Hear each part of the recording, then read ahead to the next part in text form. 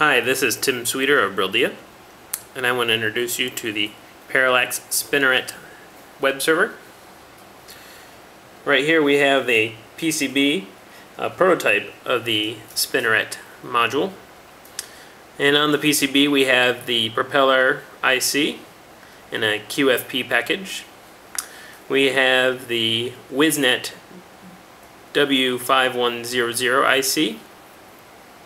We also have over here uh, a RTC IC, real-time clock with supercapacitor backup.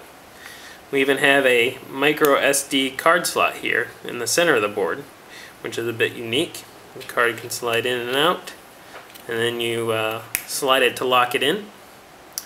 There's a user button here for programming uh, and interacting with your program.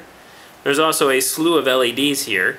Uh, one is a user LED that the uh, you could program through the propeller to blink, and the other LEDs are uh, connected to the WIZnet chip for giving you status on the Ethernet. Up here we have a 3-pin header that's for power. Uh, right now the, the device accepts 5, 6, 7 volt DC. Um, we also have the connection over here for the, the prop plug. And here we have a uh, connector for the MOBO line of products from Parallax. And again, this is a prototype PCB, so the, the layout may uh, move around a little bit. But let's go ahead and power this up and see some of the demos that are created so far uh, with some of the, the basic drivers. So first, we're going to connect up our uh, prop plug. We're going to connect our 5 volt DC and then we connect up the Ethernet. And you can see that uh, if I turn off the light there, you'll see a little bit better. We got a couple of the user LEDs, or sorry, a couple of the WIZnet LEDs are uh, on, telling us we got power, telling us about our connection status. So let's go over to the PC and we'll do a couple demos. Okay, the first demo I'm going to show you is a demo that uses the UDP protocol and it simply uh, echoes the data back and forth uh, from a program that sends UDP. Over on the right side of our monitor we have a, uh, a UDP test tool and you set up the IP address and the port number to send a packet to and you set up the packet and then uh, in a moment here we'll send it and we should see the data echo back over here. On the left I have the Parallax serial terminal program open and we're going to go ahead and power on our Spinneret web server module here and in just a moment there we go we got some data coming in and we got a basic header here and then it's telling you about the address settings such as the, the IP address, the subnet address, and the MAC address that we're using in our demo. We can also see that the sockets, uh, the socket being used in this, is initialized and set up and now we are waiting to receive data.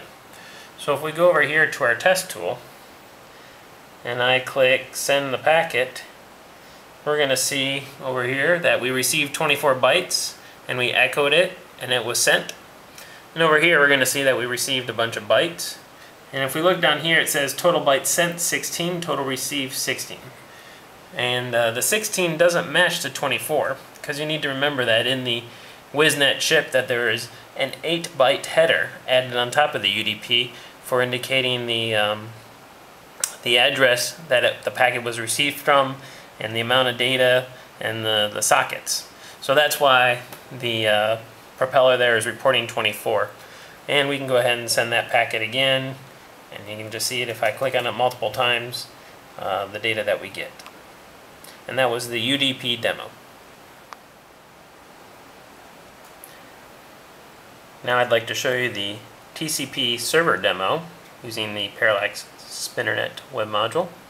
Over here on the right we have a TCP test tool set up. Uh, with TCP it's uh, it establishes a connection with the with the client or the server and then it'll transfer data where with UDP it just sent data out hoping it got there.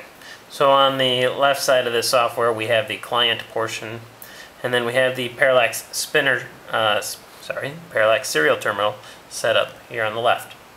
Now I'll go ahead and reset our Spinneret module and we'll see the uh, connection information show up here, the settings, uh, the IP addresses that we've configured. And when we look here, we see that we're going to open our, our uh, socket and port, and that we're going to set that to listening. That means the Spinneret module is set up as a server. It's listening and waiting for a client to connect to it. And in fact, that's what it says, waiting for a client to connect. If we go over to our test tool on the right, and we're going to go up to the top here and we're going to click on connect. When we click connect over here in the serial terminal it says connection is established. Now we can send a packet and we're going to wait for it to be echoed. So I got another packet set up here and we're going to send that packet and we can see that a packet was received and echoed back by seeing the data come back over here. So we can do multiples of these. We got some data down here about um, the bytes sent and over here the bytes received and echoed and they should be matching. If we clear the logs here clear that send the packet we're going to see we sent 21 bytes. Over here we received 21 bytes we echoed it and we got 21 bytes back. So then at the end of our connection we're going to have our client go ahead and disconnect here and over on the Spinneret module we can see the connection disconnected and now we're waiting for another client to connect and that is the TCP server demo.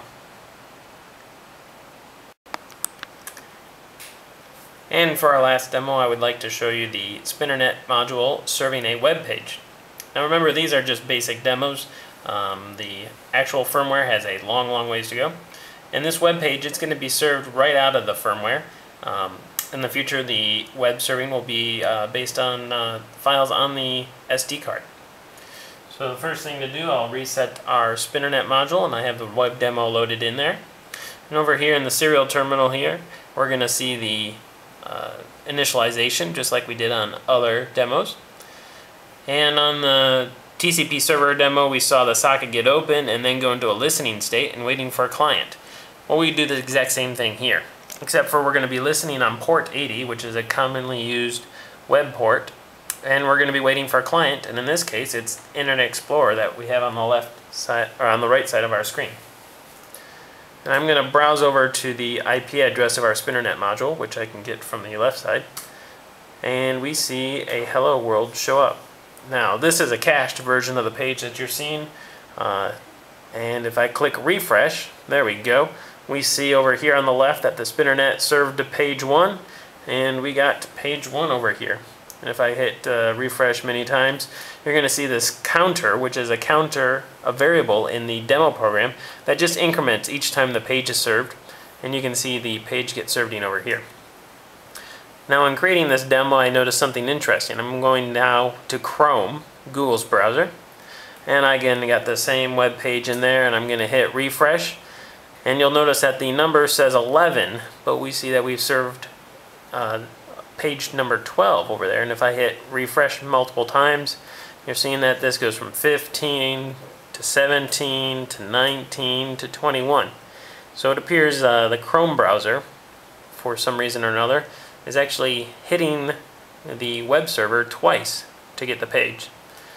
Um, but again, it could also be something in the demo. But I noticed it with Chrome, and if we